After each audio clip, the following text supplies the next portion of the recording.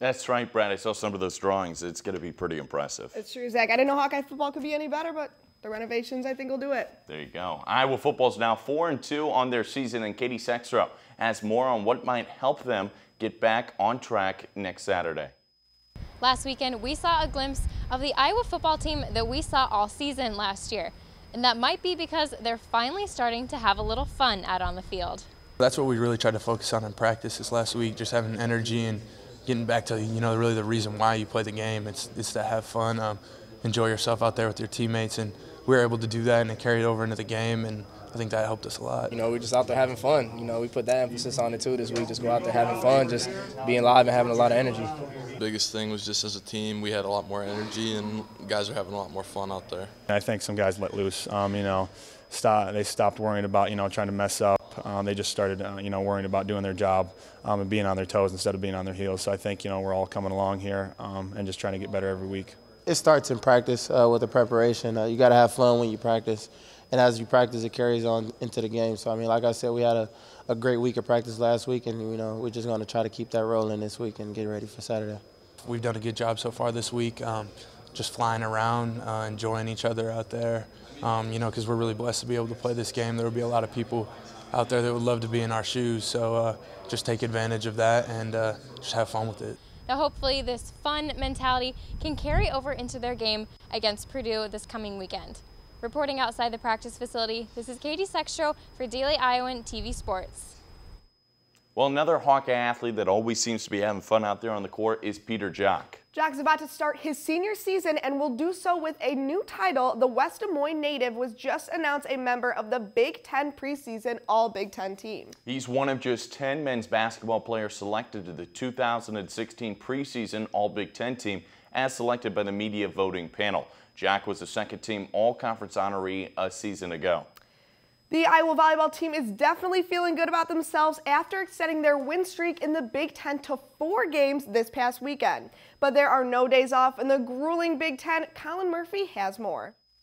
The Iowa volleyball team's confidence is sky high after taking a weekend series against Purdue and Indiana. They are on a four-game win streak in the Big Ten and are playing extremely well, but that does not mean their preparation for the upcoming weekend series will take a hit never prepare differently. It really doesn't matter, you know, how many we won or lost or whatever. It's the, a lot of the same training, preparation, drill work. Um, the only thing that changes is who we prepare for. And so different teams will call for different types of training or different styles of focus, but um, back to business as usual for us. Really excited. Obviously, we played Maryland before, but we know it takes a lot to beat a team twice in the Big Ten, so we know that we're going to have to prepare for that. And obviously we want to get Ohio State too, and we know that's a team we can get. So we're really excited and just ready to do some work this weekend. We just beat number 17 Purdue, which has definitely helped our confidence, but I think it also we need to maintain and keep like working hard every single day. We can't become overconfident, but it definitely makes us feel better going into every single match. Coach Shymanski believes this will be a very special weekend for Big Ten volleyball as they take on Maryland right before the Maryland basketball team hosts their Midnight Madness and then they travel to nationally ranked Ohio State. Reporting from Carver Hawkeye Arena, this has been Colin Murphy, Daily Iowan TV Sports. Well, Zach, what an incredible weekend for the Hawks, definitely. Man, it really was. Coach Bond Shymanski has them going to the right way right now. University of Iowa field hockey senior Natalie Cofone has been named Big Ten Offensive Player of the Week. The Big Ten Conference announced yesterday it marks the fourth Big Ten honoree of Cofone's career, and it also marks the fourth weekly award for the Hawkeyes this season. Cofone scored four goals and registered one assist last weekend, helping the Hawkeyes to a pair of shutout wins over Central Michigan and UC Davis. Cofone was dominant in both games, registering five points against Central Michigan and scoring two goals against UC Davis. Field hockey reporter John Leo will have more on Cofone and her Iowa career on Thursday's show. Now, golf is all about that next swing, the next chip, and the next putt. Jessica Ip has been itching at the chance to lead her team and I took a closer look at the junior's career. Jessica Ip has continued to make strides thus far for the University of Iowa golf program. Ip, in her third season, repping the black and gold, and the Ontario, Canada native has a lot to look forward to.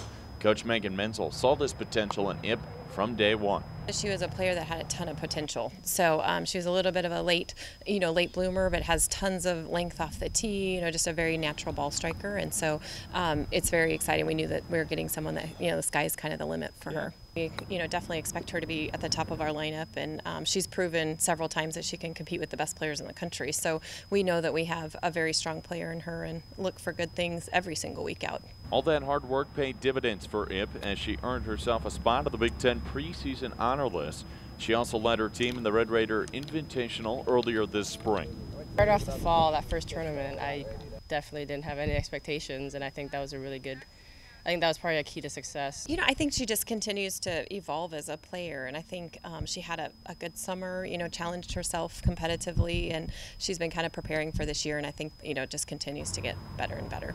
Ip doesn't pay attention to the others out there on the course, as she'd rather worry about her own game. Not thinking about how or where I want to end up because I have no idea how other people are going to play, but just knowing that if I just play my best, it could be pretty good, and then just knowing that all the practice I've put in is good enough.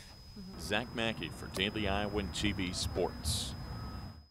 The women's golf team is off to the Greenville Regional Preview in North Carolina next week. That's all from us. Bradley, back to you.